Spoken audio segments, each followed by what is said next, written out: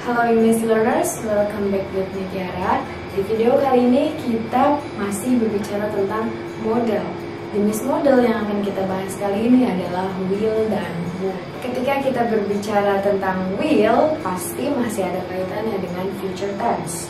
Mempelajari future tense memang lebih mudah dibanding dengan past tense. Karena di dalam future tense kalian cukup menambahkan will sebelum kata kerja. Itu berarti bahwa kegiatan tersebut baru akan dilaksanakan. Will juga mempunyai saudara yaitu would. Walaupun sama-sama memiliki arti akan, tetapi kalian harus berhati-hati ketika menggunakan keduanya. Jangan sampai kalimat yang kalian buat menjadi berbeda arti hanya karena salah menempatkan. Penggunaan will dan would memang tidak begitu mencolok, namun dapat mengubah total arti dari kalimat tersebut. Okay, don't waste your time, so look at this video. Will dan would berarti akan. Will terdapat dalam future tense yang kegiatannya ada di masa depan. Will dalam kalimat positif rumusnya subject plus will plus verb one plus object. Contohnya, she will go to London. Dia perempuan akan pergi ke London. Kita juga bisa mengubah will dalam kalimat negatif. Rumusnya si plus will plus not atau biasa kita singkat won't plus verb one plus object. Contohnya, she will not go to London. Dia perempuan tidak akan pergi ke London. Will juga bisa kita tempatkan dalam kalimat interrogatif. Will di dalam kalimat interrogatif menjadi request atau kalimat permintaan yang sifatnya informal. Contohnya apa? Will you help me? Akankah kamu membantu saya?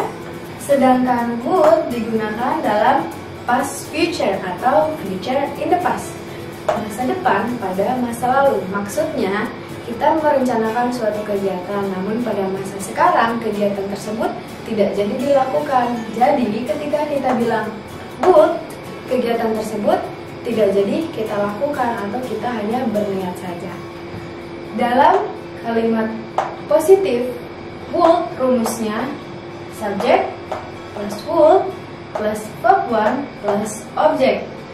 Contohnya, she would go to London but she is sick. Dia perempuan akan pergi ke London tetapi dia sakit. Maksudnya, dia ingin pergi ke London tapi ternyata sekarang dia sakit jadi dia membatalkan niatnya untuk pergi ke London. Would dalam kalimat negatif rumusnya subject plus would plus not atau biasanya kita singkat wouldn't plus one plus object. Contohnya, she would not go to London, but she is in London. Dia perempuan tidak akan pergi ke London, tetapi dia di London sekarang. Jadi maksudnya di lain waktu pada masa lalu dia bilang bahwa dia tidak akan pergi ke London, tapi nyatanya sekarang dia ada di London. Oke, okay. would dalam kalimat interrogatif menjadi polite request atau permintaan yang sopan. Biasanya ini bersifat formal. Contohnya apa? Would you help me? Akankah kamu membantu saya? Tadi penjelasan mengenai will dan would walaupun sama-sama memiliki arti akan, namun will digunakan pada masa depan, sedangkan would digunakan pada masa depan di masa lalu. Semoga bermanfaat and see you,